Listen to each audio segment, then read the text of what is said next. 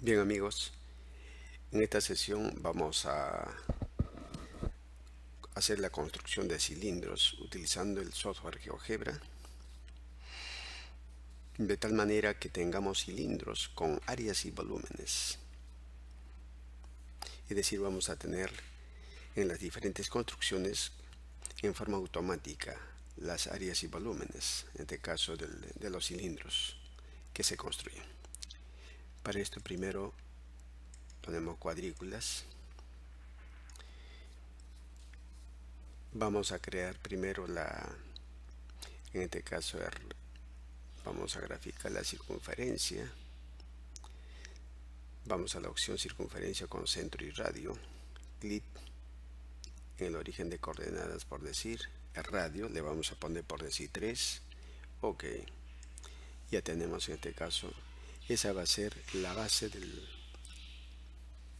del cilindro, en este caso de radio 3. Acá se puede apreciar 1, 2, 3, de acuerdo a la cuadrícula. Así que radio es 3. Ahora lo que vamos a hacer es crear un deslizador. Vamos a esta herramienta deslizador, opción deslizador, para la altura. Y ponemos H. La altura nos representa, H la altura es lo que va a representarnos la altura del cilindro. El mínimo valor de la altura 0 y le vamos a dar un valor máximo por decir 8. Un incremento por decir pongámosle de 0.5. Ok. Ya tenemos en este caso el deslizado para la altura.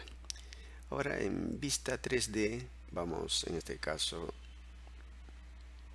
en vista 3D pero previamente también importante que tengamos acá nosotros ya que vamos a hacer eh, o de calcular las áreas y volúmenes vamos a ingresar en este caso en la barra de entrada. En la barra de entrada vamos a digitar el, la fórmula del volumen en este caso del cilindro. V igual en este caso el volumen de un cilindro es es área de la base por altura. La base es un círculo del cilindro, por tanto va a ser pi. Multiplicamos acá, por acá pi, asterisco por el 3 al cuadrado. En este caso el radio para nosotros es constante, 3 al cuadrado, le ponemos el cuadrado, por asterisco por la altura. En este caso para nosotros la altura es variable h. Ponemos enter y ahí tenemos el volumen. Para un radio 3 es el volumen 9pi. Si movemos el deslizador, en este caso para una altura de 2 el volumen es 18pi y así sucesivamente. Ahora vamos a hacer también por otro lado, también vamos a tener eh, para el área de la base. Le vamos a poner AB mayúscula. Área de la base va a ser igual en este caso a pi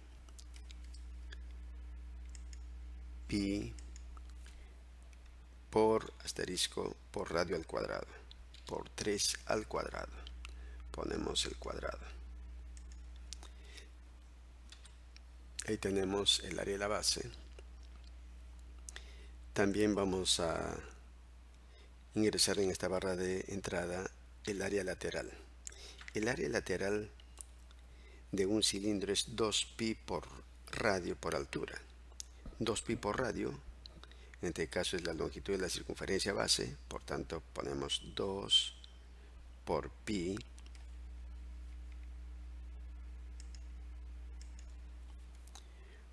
por este caso por 3 que viene a ser radio por 3 que viene a ser radio por la altura asterisco por altura 2pi por radio por altura. Ahí tenemos el área lateral el área lateral en este caso 2 de igual manera vamos a determinar el área total.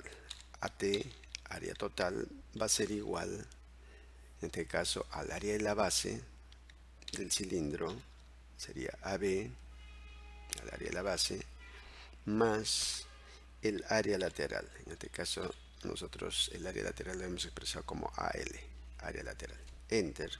Y vamos a tener automáticamente el área total también. Se verifica 9pi más 12pi, 21pi, el área total. Ya tenemos en este caso. Ahora sería importante también para que ustedes visualicen, vamos a poner textos dinámicos. Textos dinámicos. Acá vamos a poner en este caso en objetos. Vamos a objetos. Vamos a determinar v volumen. Y vamos a poner entre comillas vamos a escribir volumen volumen. Igual cerramos comillas. Y aparecen ustedes que acá aparece en vista previa volumen y le ponemos más el V que nos expresa en este caso y automáticamente nos da el volumen que tiene el cilindro. Ok. De igual manera vamos a hacer otro texto dinámico para determinar el área de la base el área de la base en este caso va a ser constante, así que no requiere tener un texto dinámico, pero de todas maneras vamos a poner área a la base. En este caso, entre comillas, le ponemos área base. Igual cerramos comillas y le ponemos más el AB, área de la base. Tiene que ser mayúsculas tal como está. Podemos poner fórmula látex y ponemos ok ya tenemos el área de la base. También podemos nosotros hacer el texto dinámico para el área lateral. Así que vamos a objetos AL nos representa el área lateral y ponemos entre comillas área lateral. Área lateral. Igual cerramos comillas más el AL y tenemos también el área lateral.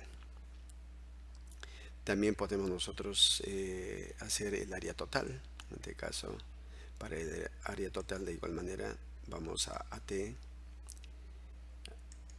abrimos comillas y ponemos área total. Área total.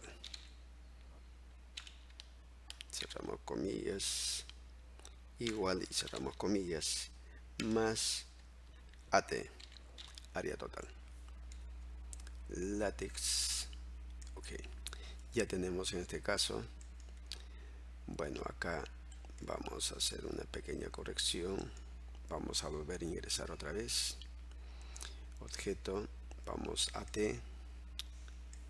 Nos olvidamos poner el signo igual. Área total. Área total. Igual cerramos comillas. Ahora sí ponemos más el AT área total. Látex. Ok. Ya tenemos en este caso. Podemos poner en el y mueve. Y vamos a poner acá el en negrita tamaño mediano.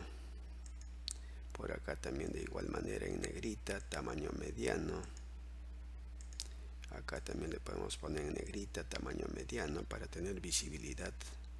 Acá el volumen de igual manera en negrita tamaño mediano. Ahí tenemos en este caso vamos a ir apreciando casualmente con cuando nosotros movemos el deslizador altura automáticamente van a variar en este caso los volúmenes áreas laterales áreas totales pero acá se mantiene fijo el área base por lo mismo que acá se mantiene radio 3 en los demás casos el volumen del área lateral y el área total varía. Bien, ahí tenemos en este caso los textos dinámicos. Ahora vamos nosotros a, a este menú vista.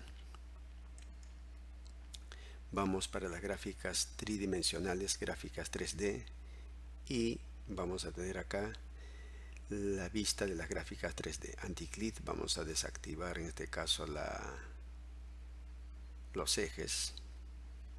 Acá tenemos el punto C, el punto A, perdón. Vamos a renombrar, vamos a cambiarle el nombre y le vamos a poner C.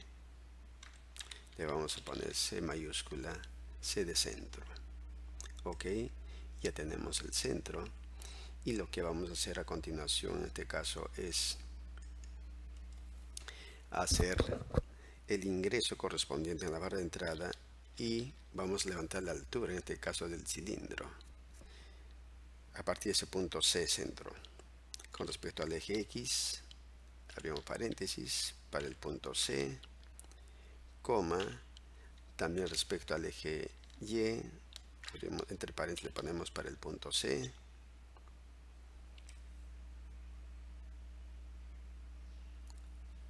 Y finalmente ponemos coma h que es la altura. Ponemos enter y tenemos automáticamente observen las alturas correspondientes que va a ser variable en este caso la altura del cilindro a medida que varía la altura en este caso varían también sus volúmenes y áreas laterales y totales.